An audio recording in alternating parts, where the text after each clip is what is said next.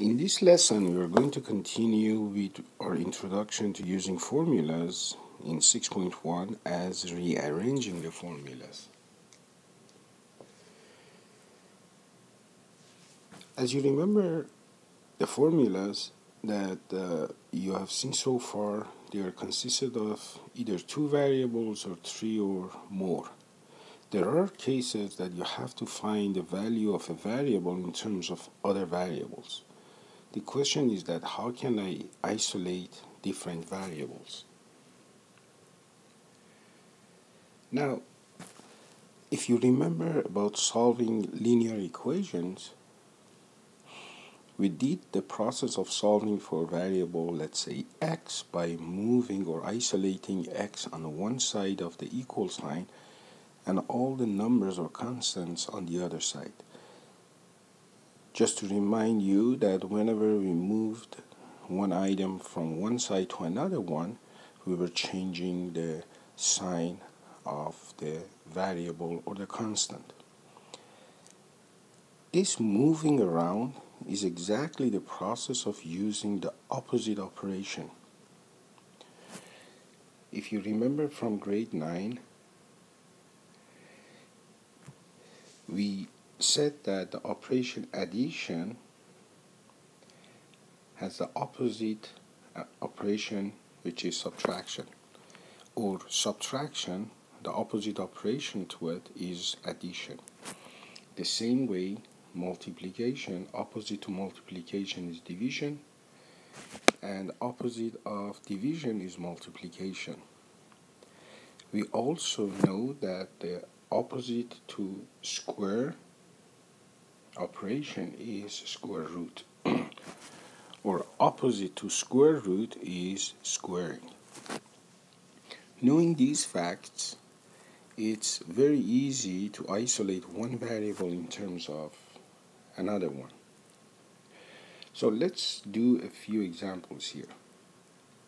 The first example, I have the formula which I can find the amount of investment A in terms of initial investment P and the interest earned I.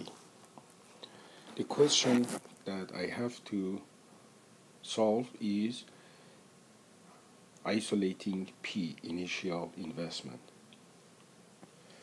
We start with the original one, which is A is equal to P plus I. I would like to have P by itself isolated. So either I can move, I can keep P on the left or P on the right. I decide to keep P on the right. So this means that I have to do the opposite operation of addition, which is for investment. So I'm going to move investment to the left, but remember you will change the sign. So this will make P is equal to A minus i because i becomes negative i. The next example is the volume of a rectangular prism or just simply a box. The volume is given by V is equal to length times width times height. I have to isolate height. Now I decide to keep height on the right and everything else on the left. Now, if you look at L and W here, they are multiplied by H, so I have to do the opposite operation, which is division by L and W. So I get V divided by LW is LWH divided by LW. W cancels W, L cancels L. So I get H is V over LW. The next example, I have the Ohm's law, which relates voltage, resistance, and the current. By the formula, V is equal to Ri, which V is the voltage, R is the resistance, and I is the current in the circuit.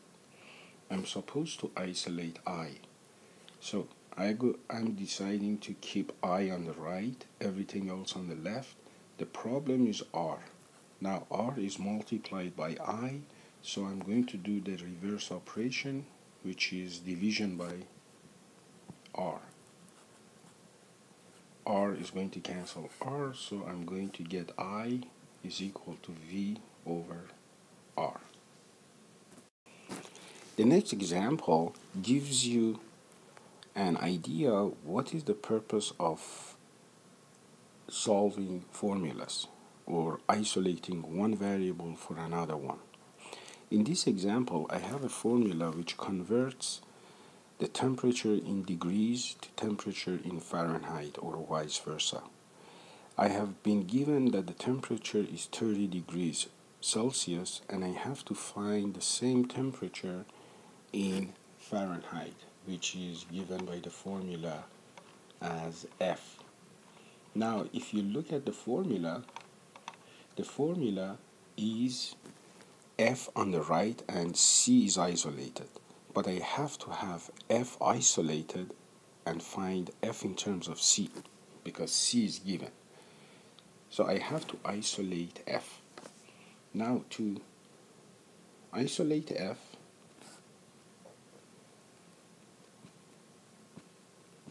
I'm going to do the first operation, I'm going to get rid of the denominator here.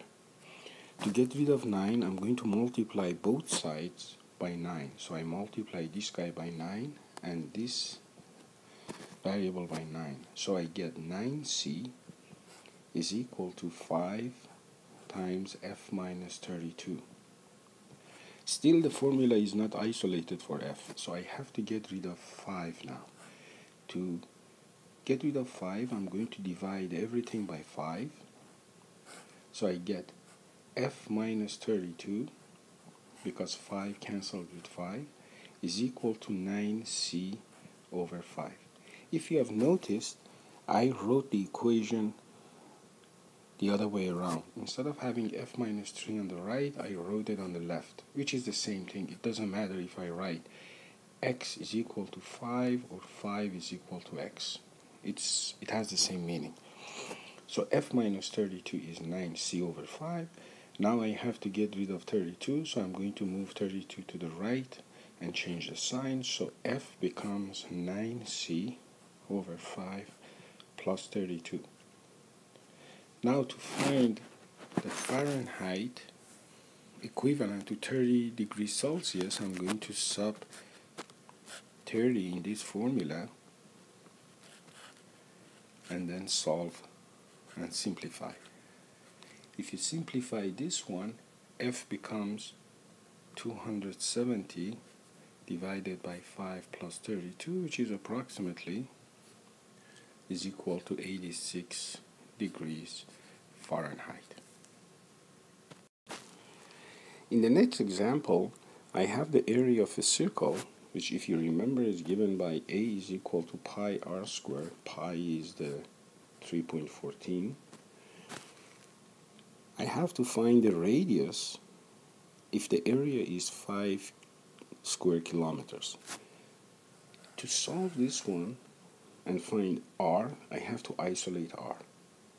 The problem right now is pi, so I'm going to divide by pi both sides. So I get r squared, because pi cancels with pi, is equal to a over pi.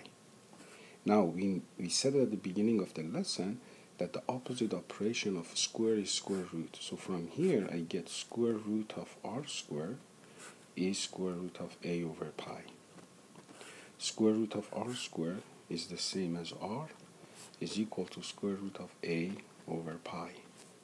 Now I have an isolated radius in terms of area. So I just substitute back the 5 kil square kilometers in the equation to find r. So I get r is equal to square root of 5 divided by pi, which if you simplify this expression, you are getting r is approximately 1.26 kilometers. Remember, the area is square kilometers, so the radius has to be with the unit of kilometers. The next example is the volume of a sphere is given to be V is equal to pi r cubed. The question is that if the volume of a ball is 1 cubic meter, what is the radius? To do this one, again I have to do the same thing. I have to isolate r. First I divide by pi to get rid of pi. So pi cancels with pi. I get r cubed is v over pi. Now, the opposite operation here is to take the root 3 of both sides. This means root 3 of r cubed is the same as root 3 of v over pi. Root 3 of r cubed is r, which is root 3 of v over pi. Now, to find the radius, when the volume is 1 cubic meter, I'm going to replace v with 1 if you use your calculator and find this one this is almost equal to 0.62 meter now just to refresh your memory how to use your calculator either if your calculator has y exponent x on it or the hat sign what you have to do is you have to type the following in your calculator. First, type open bracket, then 1, then divided by pi, let's say 3.14, close bracket, then the hat sign, okay, for exponent. But this one is root 3. The root 3 we will see in next lesson is going to be really 1 over 3. Now 1 over 3 is 0.333. Now, if you do this one, you are going to get approximately 0.62.